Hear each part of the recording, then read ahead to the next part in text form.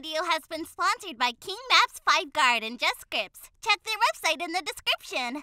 Hey guys, welcome back to another video. I hope you all are good. So today in this video, we are going to install an advanced shoplift script for our FiveM servers and this script work with QB-Core, ESX and QBOX framework and it's completely free as well so make sure to watch the video till end. Then if you like this script you can easily install it in your server. I will provide you the link in the description box. So right here we have our script from anox studio. And we have to scroll down and get it from the Tebex store. It's completely free there as you can see. So we have to get it and download it from our cfx portal. After downloading we need to simply just open the file and extract this to our resources right there then we have to copy the script name go to its server.cfg file to ensure the script.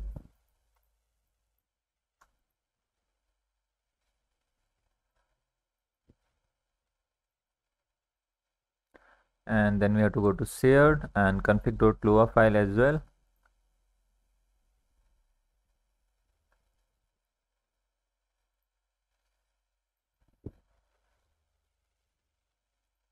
so let me just first ensure the script. Then we have to go to its config.lua file. And here we'll get to see the framework to auto. Notify ox target ox you can set the qb as well. Then we have the dispatch script.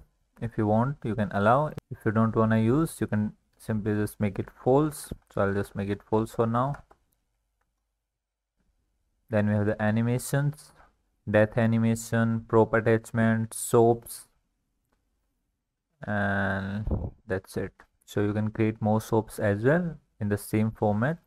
So that's it. Now we have to go back to our server and simply just restart the server and join it back to use the anox shoplift script.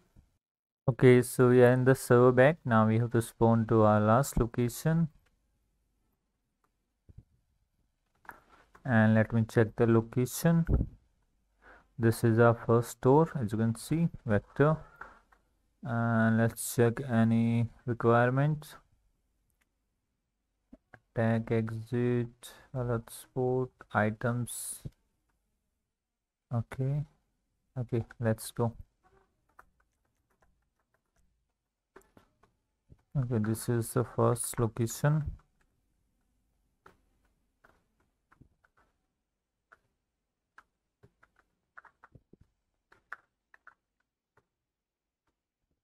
okay so as you can see right they will get to see this type of shop lift hard lift.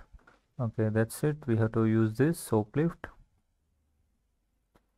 And as you can see so keeper alerted. So it will fight with you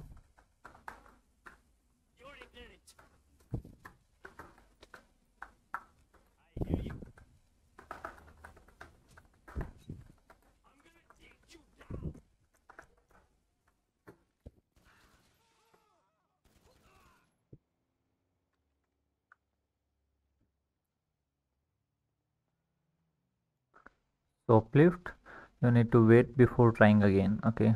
So okay so i think we need to remove the cooldown and the store cooldown is here as you can see. So i'll just set it to one for now and here the items sandwich water and we have to change the names as well because we have the water bottle i think water bottle let me check. Yeah we have the water bottle. So so now we have to restart the script one time and it will remove the store cooldown ensure and the script name. Now we can do easy medium and all of it. Let me just slash clear inv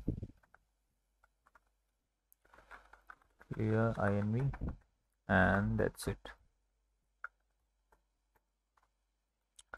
Go with the easy shop lift. Your pocket sandwich one. As you can see we got one sandwich. Let's go for medium one. And we get one whiskey. And this is the hard one so as you can see we get one radio from it. So this is how this shop lift script works. You can easily create more soaps. You can set the cooldown timer. You can change the locations.